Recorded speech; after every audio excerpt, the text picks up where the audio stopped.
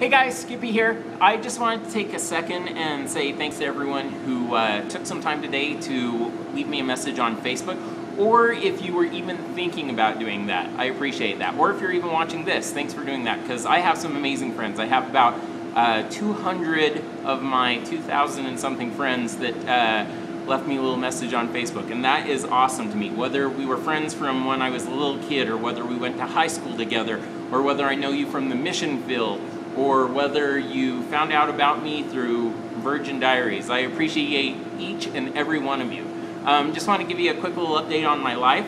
I have gone on a couple fun dates that I don't think I'll get second dates out of. I could be wrong. I would love it if the girls, you know who you are, would prove me wrong and us actually go out a second time.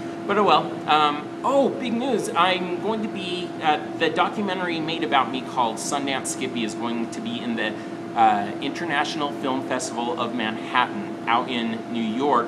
From uh, I will be out there from November 13th through the 16th, and Sundance Skippy plays on November the 14th. It's a Wednesday, so if you're anywhere near the area, come on by, watch uh, Sundance Skippy with me and Mark, the director and we'll have a lot of fun together. There's a chance that sometime this week I might be on Dr. Drew, so that would be exciting. And as always, the Sundance Film Festival is coming up in January, so always excited about that.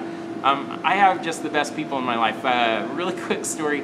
My mom woke me up the way that, okay, again, still living at home in mom's basement, and every year my mom, uh, through the rest of my life, I'm sure she'll uh, do this as long as she's alive, uh, she uh, on my birthday tells me the story of how uh, she was pregnant and it was a Saturday and the doctor was on his way to the BYU game but got a call from the sweet little this sweet little lady and her husband saying, "Hey, our second child is due," and at 4:34 in the afternoon on a Saturday, I was born.